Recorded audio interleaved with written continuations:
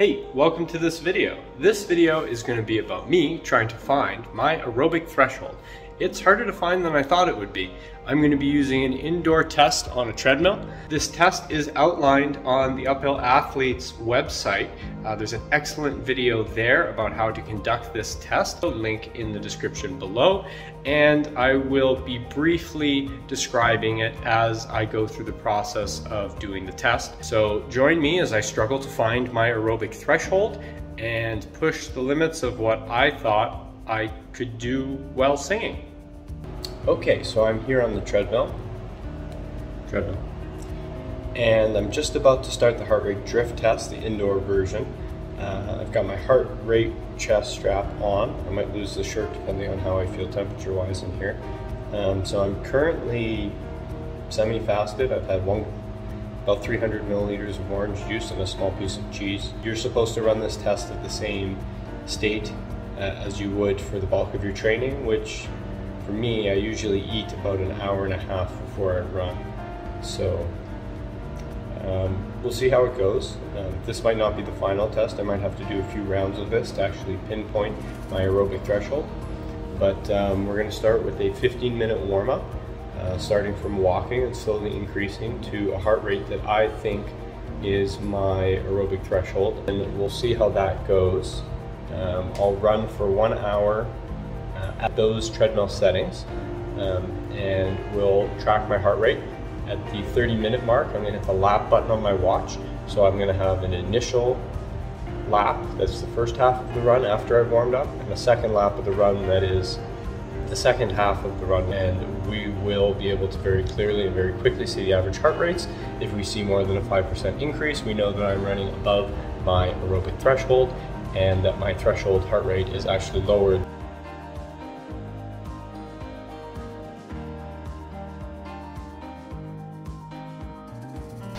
Okay, a little bit of an update. I am 10 minutes in to the first interval, and uh, my target heart rate was 148, so I got it there at the beginning of the interval, and it's since dropped to, I was dropping down into like 135.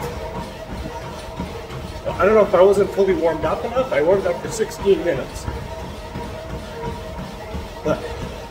I'm going to complete the test at the current settings. I thought about starting a new interval and increasing the settings, starting the test over basically, but for the sake of completeness, so I'll finish this test and then I'll have to do another one at a higher pace or incline or whatever.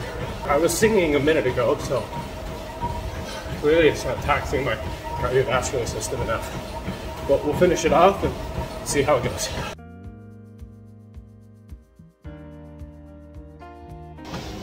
I have all the data.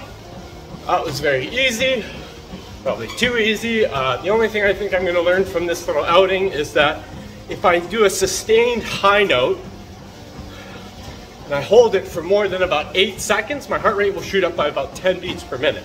So, yeah, that was I think the only thing I'm gonna learn from this, that I can still sing and run at 10 kilometers an hour with an incline of four. That's gonna be my only takeaway. I might have been out of tune, but I can still sing.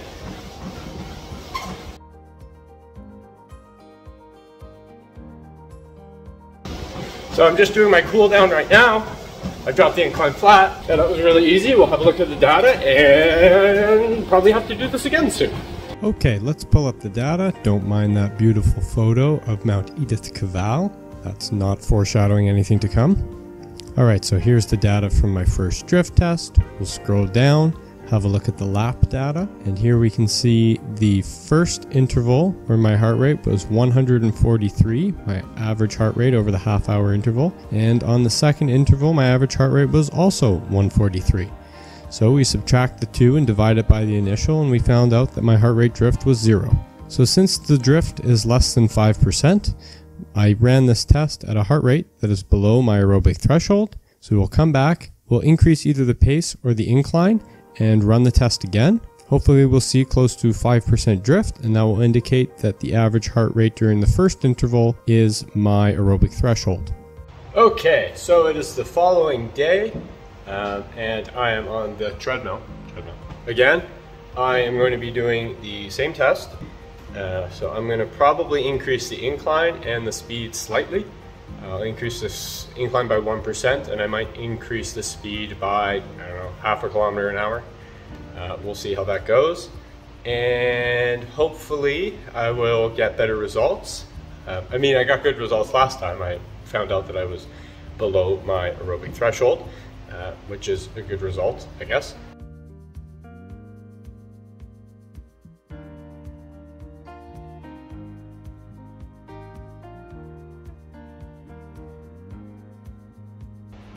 Okay, so I just finished the second of my drift tests. Um, that also felt good. It was definitely harder. So I did 500 meters of vert in an hour. Um, and we'll have to take a closer look at the data, but I think that's still not my, I, I think I'm still below my aerobic threshold. Um, it felt, it felt, it was definitely harder. I didn't sing that much this time. So we'll have a look at the data and we'll see if I have to do this again. And I think I'm gonna have to do this again. But that's a good thing. It means that all my base training has paid off. Okay, so here is the data from my second heart rate drift test. Again, we scroll down, open up the lap data, have a look at the first half an hour interval. We see that my average heart rate was 152. And then we have a look at the second interval, second half hour, and we see that it was also 152. So again, I had 0% drift, indicating that I am below my aerobic threshold, and I will have to redo the test at a higher intensity. Okay, so it's the end of another work day. I take off my work hat and I go to run. That's the routine, that's what I do just about every day. So I will be conducting the third of my drift tests. Um, exactly the same as before, except this time I will be increasing the settings once again to try to find that 5% drift. 32 degrees today, plus the humidity. It definitely felt like 40. I was in the sun all day um, trimming hedges, but I did a really nice job. Have you ever seen a more perfect hedge? Perhaps this one. So I guess I'll quickly talk about what's different about this test from the other ones. Um, so I worked today, so I'm only in 15,000 steps today. I haven't quite had a full meal today, it's just been too hot to eat. I've probably eaten 500 calories today and had about three liters of water. I've been up for um, 13 hours now, uh, which for my other tests, the previous two drift tests, I had been up only for an hour prior to starting the test. Um, so this will give probably a better indication of what my aerobic threshold is um, for when I'm doing my after work training, which is when I do the majority of my training. Another quick point I'll make is that I was wearing a new pair of Topo Athletic Ultrafly 2s on my last two runs and it caused a bit of a pressure point that wasn't bothersome during the runs. I definitely noticed it, but um, that has since caused a very small blister, so I'm going to quickly treat that and I'm going to switch to an old pair of Ultrafly 2s uh, that have been better broken in for the longer duration run that I'm about to do of about an hour and 15 minutes.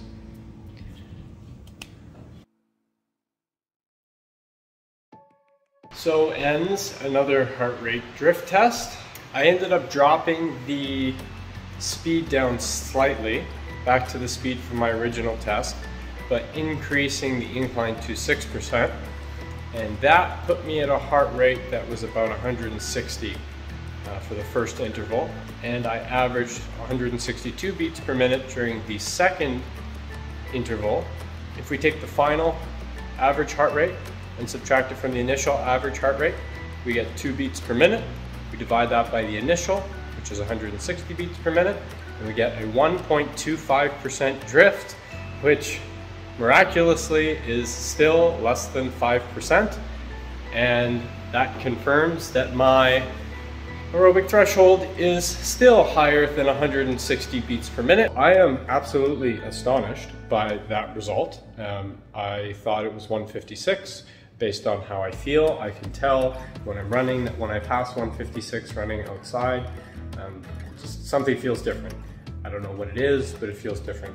I found that running actually got easier over the course of the hour um, as I fine-tuned my technique a little bit, which I just did 600 meters of gain in an hour, which I'm, I'm fairly happy with, um, with my well still in zone two um, at 10 kilometers an hour. I guess I have to do another one of these drift tests because if I really want to figure out what my aerobic threshold is, I need to get a 5% increase, which that was, that was true. I mean, that wasn't, that was cardiovascular, in terms of cardiovascular, that wasn't strenuous at all. Um, I, I will admit that I didn't think I could sing for the first 45 minutes, but then uh, in the last uh, interval there, I may have sung the first phrase to Drain You by Nirvana, and I may have also sung a little bit of All Within My Hands by Metallica. Uh, it just kind of happened. I, I don't know what to say. I didn't feel any lactic acid building up in my legs.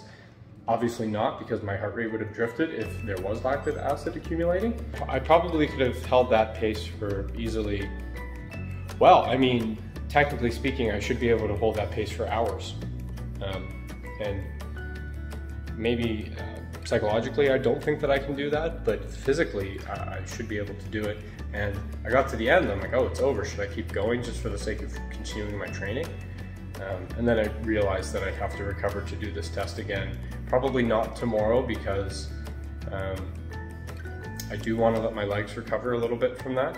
When your zone two pace reaches that certain point where you start having such a high leg turnover that your neurological system starts getting stressed by the running activity, even though your cardiovascular system isn't being taxed. Having the higher leg turnover and thus the faster rate of uh, motor neurons firing can be very stressful on your neurological system and that takes a, a long time to recover. Okay, it's another day. I took a rest day yesterday and I'm back again. We're gonna do the fourth round of my heart rate drift test and hopefully this time we will find my aerobic threshold. So I expect that I am very close with 160 beats per minute to my aerobic threshold.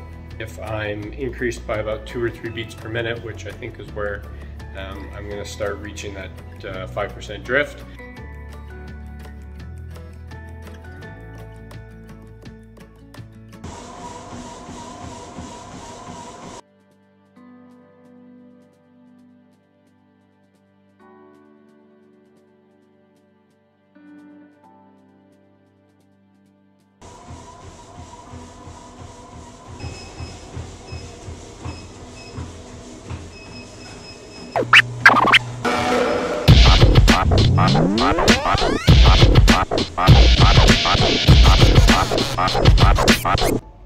Okay, so I just finished my fourth heart rate drift test. For whatever reason, I couldn't get my heart rate up at the previous settings that I used. So I ended up using an incline of nine on this one and a speed of about 10 and a half kilometers an hour. And that was able to get my heart rate up for the initial 30 minute interval to 163 as an average heart rate over the half hour. And for the second interval, my heart rate shot up to 168 on average. Subtracting 168 from 163 and dividing by the initial 163 gives a 3.7% drift over the one hour, which is still less than 5%. So this is still less than my aerobic threshold. But seeing as I've only gone up by three beats per minute between this test and my third heart rate drift test, and there was such an increase in the heart rate drift, I think it's safe to assume that my aerobic threshold is very, very close to 163, might be 165. I felt very good today, uh, very good. Uh, if you include my warm up and everything, I did a vertical kilometer, um, and I did about 14 kilometers of horizontal total. Um, so yeah, so it um, definitely, uh, we're very close. I don't think there's much point um, trying to refine it anymore uh, for the sake of this video. for the sake of my own training, you know, the next time I hop on the treadmill, I might go a little bit higher uh, and see if maybe putting the incline at 10 um, and holding that 10 and a half kilometer an hour speed will get me to exactly where uh, my aerobic threshold is. But for now, I think this pretty much sums it up. So now I can take this information and input it into Garmin Connect and upload that to my watch. And my watch will have uh, much better performance tracking now, um, and I'll be able to see the different heart rate zones on the watch screen uh, more accurately. I think I've collected, I've collected a lot of data and I learned a lot about um, what I can, what I can handle um, and still be fairly comfortable. The only thing I experienced on that fourth drift test in terms of discomfort was a little bit of tightness um, in one of my hamstrings and um, it, I had a little bit of a stitch developing, uh, cramping during the first uh, little bit, but I was able to work through it with some deep breathing while I was running. Uh, that cleared that, and really it wasn't uh, that uncomfortable um, as it should be. No lactic acid um, accumulating in my legs that I could feel. Uh, so I, I, could have kept going. I really enjoyed doing this test. I found out that the top of my zone 2 was about 20 beats per minute higher than what Garmin seemed to think that it was uh, based on what I've been doing. At the same time, it says that my fitness is declining. So it's not a very good tracker of my performance uh, because I'm using a slightly unorthodox method of training where I'm working on my aerobic base more than I am tempo uh, and zone three, which is what most people spend a lot of time doing because I'm trying to maximize my aerobic base and thus maximize my endurance potential. So that wraps this video up. The next video in this series will be about my lactate threshold. Uh, once we have my lactate threshold, we'll have all the information we need to completely set up my heart rate zones. Uh, if you have any questions, please leave them in the comments below. Really appreciate you hitting the subscribe button. You can follow along with the rest of my journey. And if you hit that bell button, you'll get notifications when I upload a new video. So thank you for watching and I'll see you on the next video.